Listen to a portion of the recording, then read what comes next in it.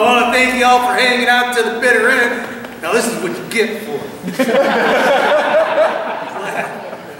I've always been told I'm a heterosexual, and I always went along with it because heteros can be a lot of fun to sexual with.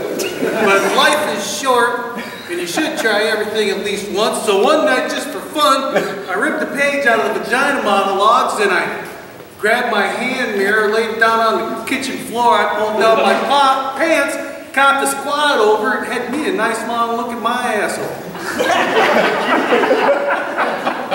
Damn thing winked at me. Well, I don't know if wink's the right word. It more blew me a kiss. yeah. And it was beautiful.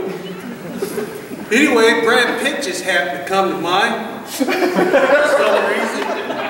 It occurred to me that I would let Brad Pitt fuck the shit out of that poor little naive. Next thing you know, I'm putting the whole idea to music, and it goes like this. If I was a gay man, I'd fuck Brad Pitt. I'd let him tickle my tonsils with a sweet peanut. Ah.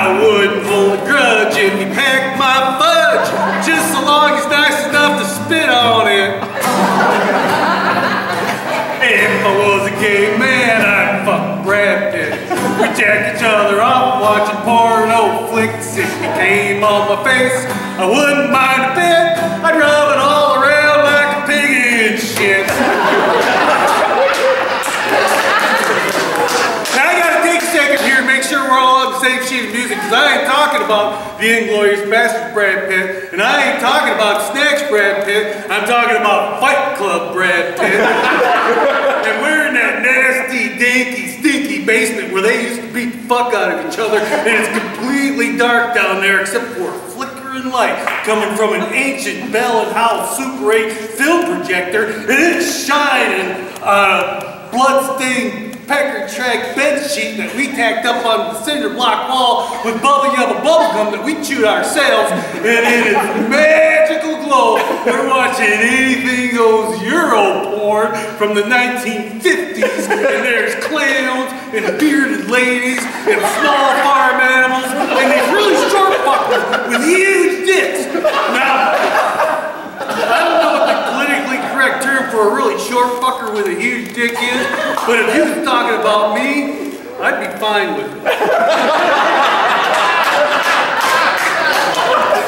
anyway, it's about that time Brad Pitt jumps up. He starts icing me down with his baby batter like I'm a Cinnabon in a strip mall by a stoplight in Yuba fucking City, California. But it felt like a deluge from a five-gallon bucket of Sherwin-Williams perfect pearl white water-soluble satin latex semi-gloss indoor house paint getting dumped right on my head, and I'm rubbing it all around like I'm a pig in shit.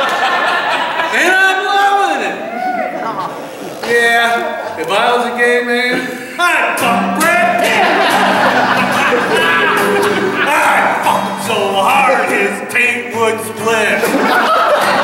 I'd wrap his balls around it for a nice tight fit. If they gave out, I'd give them the fist.